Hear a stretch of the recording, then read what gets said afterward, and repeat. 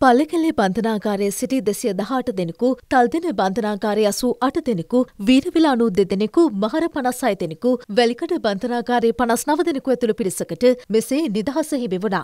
දිවෙන පුරා පිහිටි බන්ධනාකාර විසි නවයක සිටින රැඳවුවන් අතුරින් පිරිසකට මෙම අවස්ථාව උදා වුණා. කාන්තාවන් විසියෙක් දෙනෙකුද නිදහස ලැබූ පිරිස අතර සිටිනවා. මෙම විශේෂ රාජ්‍ය සමාව තුළ ගත කරන ලද වසරකට එක් සතියකුත් ගෙවීමට ඇති දඩමුදල් අවෝසි කරමින් නිදස්වීමකුත් ඉඩ අමතරව පුනරුත්තාපන නියෝග ලද රැඳවියන් ඔවුන්ගේ පුනරුත්තාපන කාලයෙන් හරි අඩක් ගත කර රැඳවිනුත් ලෙස මෙම විශේෂ රාජ්‍ය සමාවයටතේ අද දින මුදාහැරීමට ලක් කරන ලැබුවා.